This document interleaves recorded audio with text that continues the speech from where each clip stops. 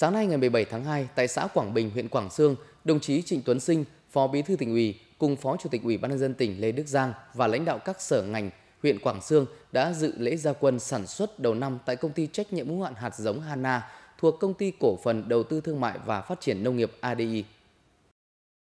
Năm 2023, mặc dù gặp rất nhiều khó khăn, nhưng hoạt động sản xuất kinh doanh của công ty trách nhiệm hữu hạn hạt giống Hana vẫn duy trì ổn định với tổng doanh số đạt trên 400 tỷ đồng. Trong đó, công ty đã sản xuất và cung ứng ra thị trường trên 2.000 tấn giống lúa, 200 tấn giống ngô, nhập khẩu và phân phối trên 10.000 tấn phân bón hữu cơ chất lượng cao, 300 tấn thuốc bảo vệ thực vật các loại.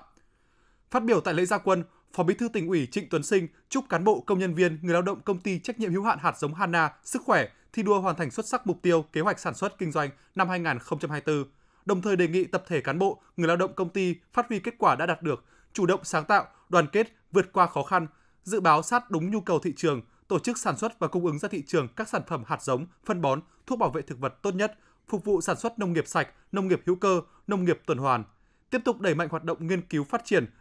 ứng dụng tiến bộ khoa học công nghệ vào việc nâng cao chất lượng công tác chọn lúa giống, tăng năng suất giá trị sản phẩm, góp phần bảo vệ môi trường, đem lại những mùa vàng bội thu cho người nông dân trong tỉnh. Bên cạnh đó, công ty cần quan tâm cải thiện điều kiện môi trường làm việc cho công nhân, người lao động, chăm lo quyền và lợi ích chính đáng của người lao động, làm tốt công tác an sinh xã hội, tham gia có hiệu quả các hoạt động phúc lợi xã hội cho các đối tượng chính sách, người có hoàn cảnh khó khăn trên địa bàn tỉnh.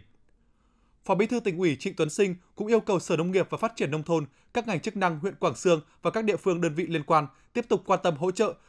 giải quyết kịp thời những khó khăn vướng mắc kiến nghị của công ty trách nhiệm hữu hạn hạt giống Hana, tạo điều kiện thuận lợi nhất cho công ty phát huy tối đa năng lực sản xuất kinh doanh và phát triển bền vững, đóng góp nhiều hơn nữa cho sự phát triển của ngành nông nghiệp và các địa phương trong tỉnh. Tại buổi lễ, Phó Bí thư tỉnh ủy Trịnh Tuấn Sinh và Phó Chủ tịch Ủy ban nhân dân tỉnh Lê Đức Giang cùng lãnh đạo Sở Nông nghiệp và Phát triển nông thôn huyện Quảng Sương, công ty trách nhiệm hữu hạn hạt giống Hana đã thực hiện nghi thức nhấn nút phát động lễ gia quân sản xuất đầu năm và khởi động dây chuyền sản xuất. Nhân dịp này, các đồng chí lãnh đạo tỉnh đã tặng quà động viên tập thể lãnh đạo, công nhân viên, người lao động công ty trách nhiệm hữu hạn hạt giống Hana và tham quan dây chuyền sản xuất của đơn vị.